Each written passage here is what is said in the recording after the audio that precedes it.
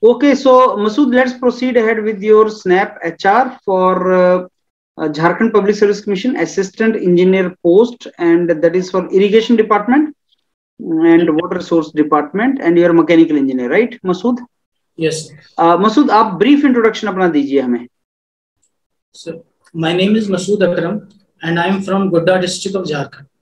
I have done my elementary schooling from Sainik School Kilaya and my BTech in mechanical engineering from BIT Sindri. I have secured a 10 CGPA in class 10th, 84% is in class 12th, and 7.9 CGPA in, in my graduation. My final year project was titled Performance Analysis of CI Engine based on plastic fuel. I have also done an in-plant training from DVC Thermal Power Station Koderma. And my hobby is gardening Regarding my extracurricular activities, I have done an NCC training and got an A certificate. I have also done a 15 days adventure course from Himalayan Mountaineering Institute, Darjeeling. That will be also. Hmm. तो मसूद आप being mechanical engineer आप क्या roles and responsibilities आपको लगता है होगा in this department water resource department and irrigation department क्या करेंगे आप So the main function of water resource department is to uh, uh, is to supply water facilities and tap water to every household in the district or in the adjoining areas. Mm. So I, my function would be to lay down all the pipes and check their materials and the regular requirements. And regarding irrigation department, I have to check whether the canals or the channels for the dam purposes are in proper places or not. That will be my job. अच्छा irrigation pipes देखी हैं आपने किस material की बनी होती हैं sir, I don't have a good idea of it, sir, but can I, I can take an educated guess. It uh, must be of uh, some added steel or cast iron, I think. So. It is CI pipe, cast iron pipe. A cast iron. कौन से manufacturing process से बनती हैं cast iron generally pipes are made by rolling process rolling process अच्छा आपने centrifugal casting के बारे में सुना है क्या? यस सर सेंट्रीफ्यूगल कास्टिंग का एप्लीकेशन बताइए। Centrifugal casting is used to make centrifugal casting also used to make pipes and it is but sir last size pipes can not be made by centrifugal pipes for that rolling is necessary अच्छा इतनी uh, लंबी pipe बनाने में क्या trouble है centrifugal casting से? Sir, because the material is uh, revolved at a very high speed, and if large pipes are there, then maybe it might be difficult to hmm. go for it. Okay. अच्छा मसूद आप आपने project किया है आप, आप मेरे को बताइए इरिगेशन जो पाइप्स होती हैं उनको पैरेलल और सीरीज़ में क्यों लगाते हैं हम क्या रीजन होता है कि उनको पैरेलल में लगाना है उनको सीरीज़ में लगाना है sir if pipes are arrange in series then the discharge will be same. But if the pipes are arranged in parallels, then the discharge will increase and the head will be same. So it totally depends on the requirement of the situation. If uh, there is a constraint on head, then we will use uh, in series. And if there is constraint on discharge, then we will use uh, in parallel. In which case uh, will you get less pump pumping work?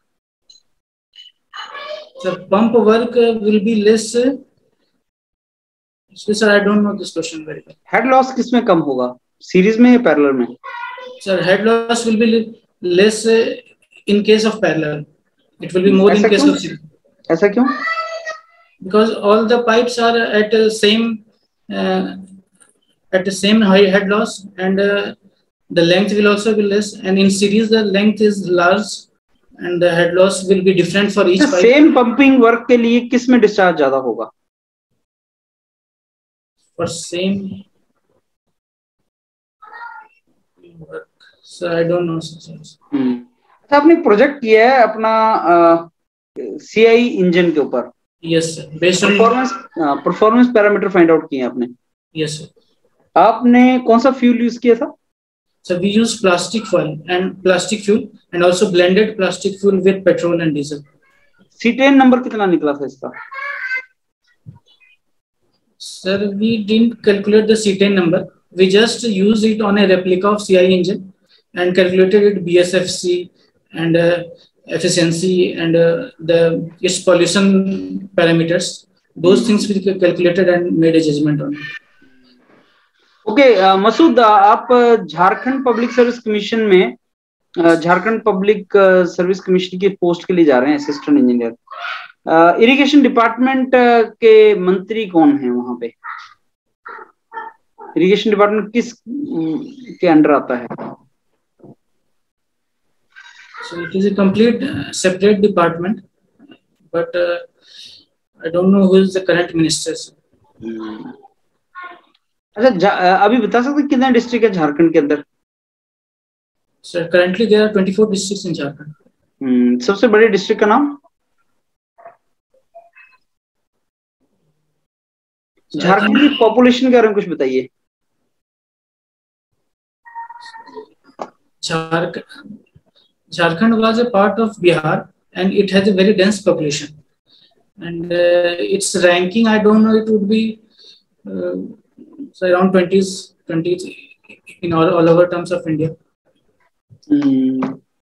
Jharkhand एक unique state है ऐसा क्यों?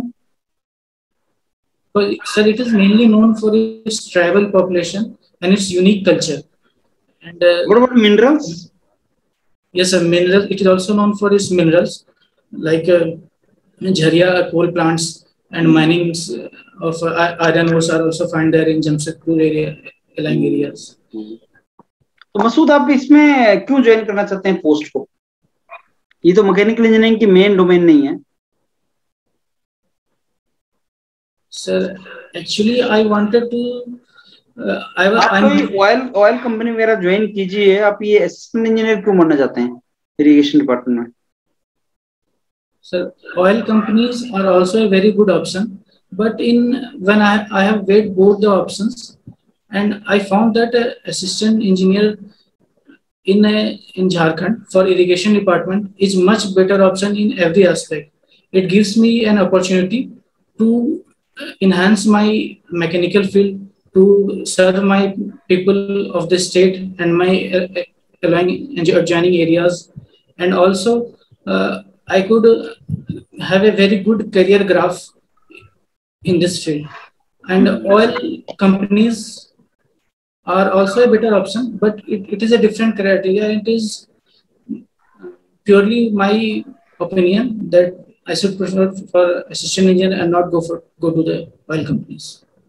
अच्छा इसके chief engineer कौन है अभी irrigation department के? Sorry sir I don't know this idea no okay let me give you feedback now एक तो मसूद आप क्या करो कि जो आप as a mechanical engineer in department को क्यों ज्वाइन करना चाहते हो? इसका आंसर ढूंढो। मेरे साथ डिस्कस करना बाद में। Yes. क्योंकि दोनों सिविल इंजीनियरिंग की डोमेन्स है तो एज अ मैकेनिकल इंजीनियर वो क्वेश्चन पूछेगा। झारखंड जो गवर्नमेंट है उसके वेबसाइट पे विज़िट करना है और इन डिपार्टमेंट्स की वेबसाइट पे विज़िट करना है। और साथ में आपने जो अपना प्रोजेक्ट कर रखा है, उसमें सीटें नंबर वगैरह क्यों नहीं निकाला है प्रोजेक्ट का नॉलेज रखो। CI pipe fluid machinery fluid mechanics important subjects हैं आपके लिए।